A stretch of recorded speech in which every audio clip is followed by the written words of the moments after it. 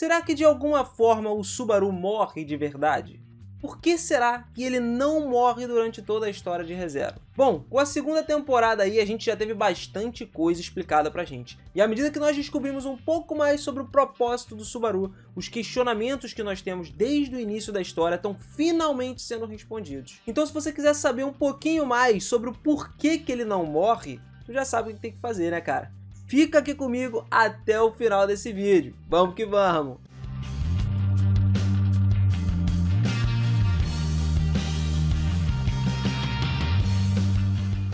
Fala, seus otakus, beleza? Eu sou o Miras e sejam muito bem-vindos a mais um vídeo aqui do canal. Galera, desde o início do ReZero, especificamente lá no segundo arco da história, mais ou menos, a gente teve aí algumas referências do Subaru ter um cheiro de bruxa nele, sabe? E além disso, a gente sabe que ele foi puxado do Japão moderno para esse novo mundo de fantasia, recebeu uma habilidade que acabou tornando ele incapaz de morrer. E essas duas paradas, né, o cheiro da bruxa com essa habilidade tem uma ligação interessante aí, cara. Aliás, quase todos os eventos da série resultam no uso dessa habilidade dele ou então estão conectados aí de alguma forma com essa habilidade.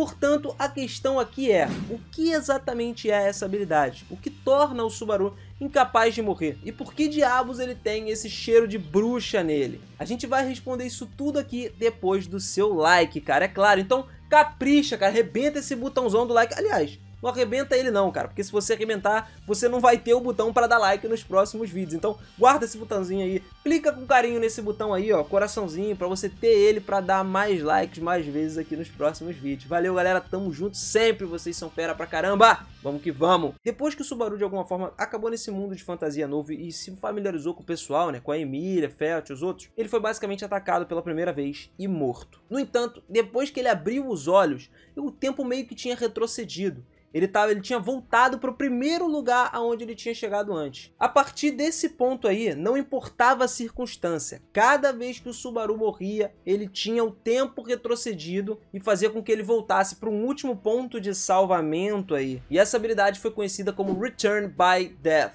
E é a razão direta pela qual o Subaru não pode morrer, cara tudo basicamente é relacionado num universos paralelos. É como se quando ele morresse, ele fosse mandado para um outro universo paralelo que foi salvo tempos antes da morte dele.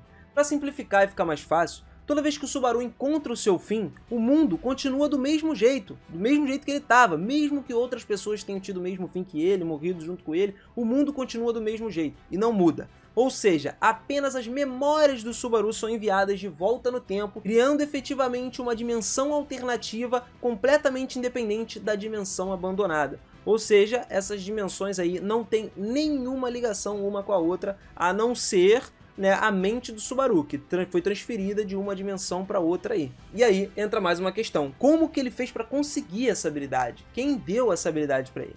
Vamos lá, vamos lá, vamos falar isso aqui por partes. A Satela é uma bruxa da inveja, né? Só que, no entanto, ela e a bruxa são personalidades separadas, sacou? Ela foi responsável pela grande calamidade, e, portanto, o que aconteceu? Ela foi selada no santuário da Pedra Seladora do Mal.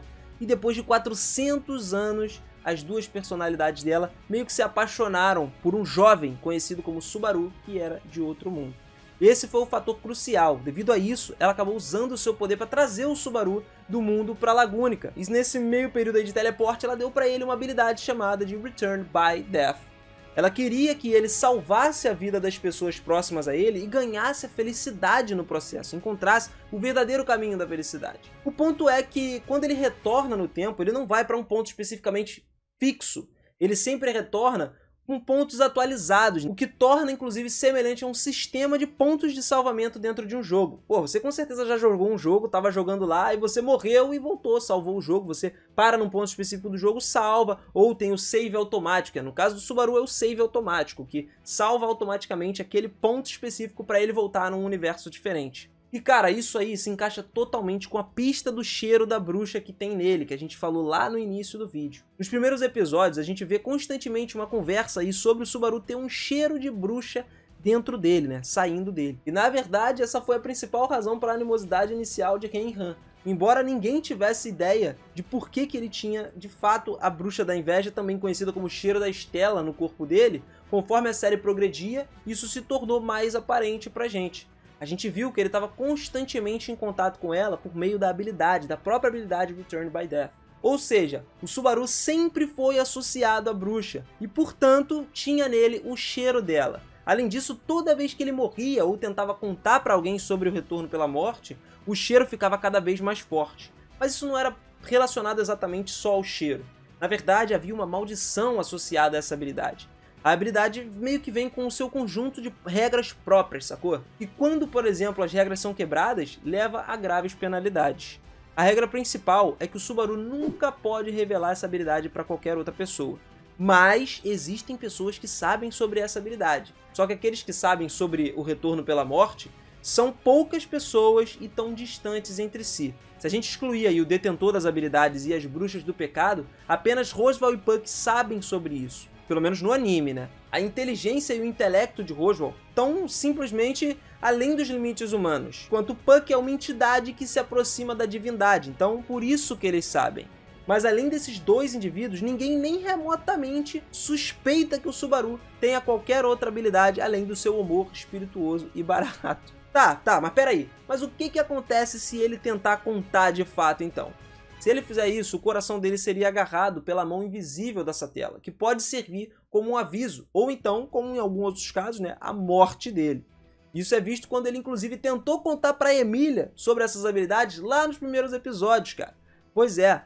E a segunda maldição é que qualquer pessoa que souber que ele conseguir contar disso para ela, a pessoa tem uma grande probabilidade de morrer. Então eu acho que é algo que ele não ia querer fazer para contar pra pessoa, pô, perder uma, um ente querido assim seria complicado, né, cara? E a última, né, que é a terceira maldição, é que se ele tentar revelar o Return by Death, a densidade do Witch Factor aumenta por um curto período de tempo, o que acaba atraindo qualquer Demon Beast da área imediatamente para cima dele. O que seria basicamente um problema para ele, que ele não pode usar a magia, né? Pra não dizer que ele não pode usar magia, inicialmente ele até começou, tava animadaço lá, conseguia usar e tal, com todas as perspectivas da magia, e com a ajuda da Puck e da Emília, ele aprendeu a usar essas magias. Só que isso funcionou até certo ponto, né? Porque a habilidade natural dele era magia In, e por isso, consequentemente, ele acabou aprendendo Shamak com o espírito. No entanto, depois de certos eventos lá no santuário, o Subaru rompeu o seu portão aí, lançando uma magia estressante, né, cara?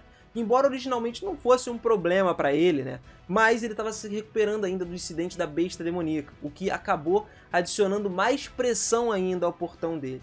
E justamente por isso que o Subaru acabou não podendo mais usar a magia por conta própria. E aí faz até a gente pensar. Então nesse caso o retorno pela morte seria uma autoridade dele, já que ele não usa magia? Não exatamente. As autoridades são habilidades únicas originadas das bruxas do pecado elas são nomeadas de acordo com as bruxas das quais estão conectadas. Então, mesmo que essa seja uma habilidade essencialmente concedida por uma bruxa, ela não é uma autoridade da bruxa. E embora ela seja verdade que concede ao Subaru uma quantidade quase que infinita de segundas chances, a habilidade Return by Death imediatamente levanta mais uma questão pra gente. Será que ela torna o Subaru imortal? E a resposta é simples. Não, galera. Em primeiro lugar, a habilidade foi concedida para ele pro quê? Justamente para ele tornar mais fácil de encontrar a felicidade, salvando seus companheiros, né? Dele realmente saber o que, que seria felicidade. E seria muito contraditório se o Subaru não morresse naturalmente depois de alcançar a felicidade, né? Ou seja, se o Subaru morrer satisfeito e feliz sem nenhum arrependimento, aí sim, com certeza, ele vai permanecer morto para sempre. Então, ele não é um cara que a gente pode considerar imortal. Agora, querido Otaku, já comenta aqui embaixo, cara, alguma dúvida que você teve e alguma sugestão também pro próximo vídeo, cara. Então deixa aí embaixo nos comentários, manda a pergunta pra mim aqui de animes, cara. Faz as perguntas que eu vou fazer os vídeos pra vocês. Eu sempre leio todos os comentários, galera. Então não se acanha, lança esses comentários e, é claro, não esquece de se inscrever no canal aqui do lado, mano. Aperta aqui, se inscreve no canal, porque não, não tem graça, né, cara? Eu gosto de responder as perguntas. Aí você manda pergunta aqui, aí eu respondo sua pergunta com o vídeo você não está inscrito, como é que você vai acompanhar? Tem como, aí não dá, não pode. Imagina só quantas perguntas o pessoal tá fazendo aí que você tá perdendo, tá ficando de fora, cara. Então, para com isso, mano. Para isso você tem que chegar, se inscrever no canal e ativar o sininho para receber as notificações dos vídeos quando sair vídeo novo aqui no canal também. Beleza? Galera, tamo junto sempre. Vocês são demais. Um grande abraço para vocês. Até a próxima. Fui!